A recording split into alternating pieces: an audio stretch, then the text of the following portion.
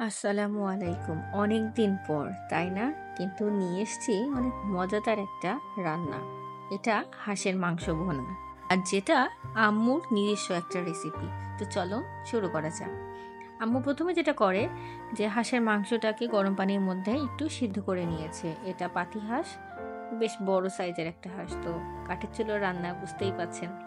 শুরুতেই দিয়ে দিল, এটা হচ্ছে পেঁয়াজ বেরেস্তা করে রাখছিল আগে, সেই ভাজা তেল, অল্প একটু সরিষার তেলও আছে সাথে।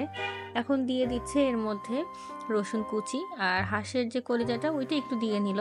আম্মু ডাইরেক্টলি কলিজাটা দেয় না, একটু হালকা ভেজে তারপর রান্না করে। তো তিন থেকে চার মিনিট একটু ভেজে নিল, এখন তুলে দিবে চেষ্টা করবেন যে হচ্ছে রসুনের কুচিগুলা যেন উঠে না আসে, ওটা ছাড়িয়ে নেবেন। এরপর এর ভিতরে গরম মশলা গুঁড়ো দিয়ে দেওয়া হয়েছে। দিয়ে কিছুক্ষণ ভাজা হলো, তারপরে পেঁয়াজ কুচি। পেঁয়াজটাকে লাল হওয়া পর্যন্ত ভাজতে হবে। এখন এই লাল লাল দেখে মনে করতেছেন যে তলায় হয়তো লেগে গেছে। না, যেহেতু কলিজাটা ভাজা হয়েছিল, ওটার থেকে যে রসটা বেরিয়েছে সেটাই তলায় লেগে গিয়েছিল বাট পেঁয়াজ ভাজতে ভাজতে কিন্তু ওটা উঠে যায়। এখন দিয়ে দেওয়া হচ্ছে শুকনা ঝাল। ফালি করে দেওয়া আর নারকেলের দুধ দিয়ে এখন এটাকে খুব ভালোভাবে ভুনতে হবে। মশলাটা আপনি যত বেশি কষাবেন, হাঁসের মাংসে কিন্তু তত বেশি স্বাদ আসবে। একদম যখন লাল হয়ে আসবে তখন মাংস মেশানোর সময়। এখন পরে স্বাদ মতন লবণ দিয়ে দেওয়া হলো। ঝালের গুঁড়া, হলুদের গুঁড়া।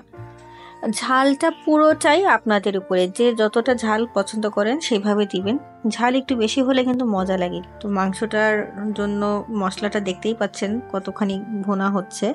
এখানে দিয়ে দেওয়া হলো রসুন বাটা। তারপরে আরও তিন চার মিনিট ভালোভাবে মশলাটাকে কষাতে হবে। মশলার পিছনে কিন্তু আপনাকে সময় দিতে হবে। একটু ধৈর্য ধরে সময় দিলেই দেখবেন যে রান্নাটা খুব বেশি টেস্টি হয়েছে। আর হ্যাঁ আমার ভয়েসটা একটু অন্যরকম শোনাচ্ছে কারণ আমার খুব ঠান্ডা লেগেছিল। এই জন্য এতদিন আমি কোনো ভিডিও ঠিকভাবে আপলোডও করতে পারিনি ভয়েসে বলে দিতে পারিনি। তো এই মশলা কষানো হয়ে গেলে এর মধ্যে সেই সিদ্ধ করা মাংসগুলো কিন্তু দিয়ে দেওয়া হলো। এখন আবারও মাংসের সাথে মশলাটাকে খুব ভালোভাবে কষিয়ে নিতে হবে। এর মধ্যে এখনও কিন্তু কোনো রকম পানি দেওয়া হয়নি।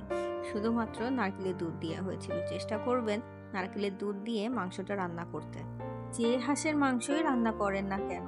ওটাতে যদি নারকেলের দুধ দেন তাহলে স্বাদ কিন্তু বহু গুণে বেড়ে যায়। তো দেখতেই পাচ্ছেন, রান্না হচ্ছে, কষানো হচ্ছে বেসিক্যালি তো ভালোভাবে মাংস কষানো হয়ে গেলে সব শেষে আদা বাটা দেওয়া হবে। এতক্ষণ কিন্তু আদা বাটা দেওয়া হয়নি। এখন আদা বাটাটা দিয়ে আরও কিছুক্ষণ ভালোভাবে আমরা কষিয়ে নিচ্ছি। ও ইম্পর্টেন্ট একটা কথা তো বলা হয়নি। আম্মু কিন্তু হাফ মাংস সিদ্ধ করে নিয়েছিল আর কিছু মাংস কিন্তু নর্মালি রেখে দিয়েছিল। তো এক্সট্রা কিন্তু পানি দেওয়া হয়নি। আধা কাপ পানি দিয়ে ঢাকনা দিয়ে ঢেকে রাখা হয়েছিল অ্যান্ড দেন এটাকে লো হিটে রান্না করার পরে দেখেন কি সুন্দর হয়েছে লোভনীয়, তাই না? সাদা ভাতের সাথে খেতে সেই রকম লাগবে। আশা করি ভালো লেগেছে। আমার সাথে থাকার জন্য অনেক ধন্যবাদ।